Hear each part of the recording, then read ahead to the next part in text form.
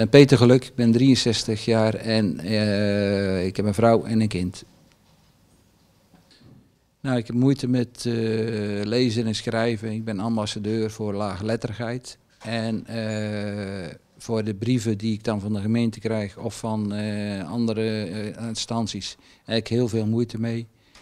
En dat is het. Ben nu met een uh, vrijwilliger uh, hier bij de bibliotheek. Ben ik, uh, naar les te, of, kom ik naar les toe bij Take 5 om lezen en schrijven te leren. Ik ken ook zelf al een klein beetje, of ja, zeg maar weer een brief kunnen schrijven en zo. En dat gaat gewoon redelijk goed.